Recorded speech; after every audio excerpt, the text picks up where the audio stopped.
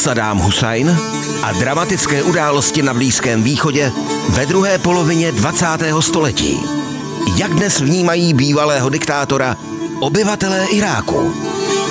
Irák. Válka, láska, Bůh a šílenství. Ve středu ve 20 hodin na CS History.